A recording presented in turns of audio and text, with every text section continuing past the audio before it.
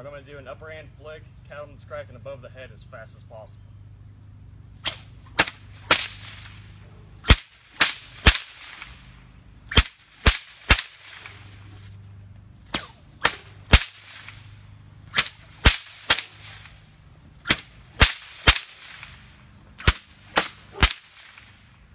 This is with my six foot. Man, this is tiring on the arms.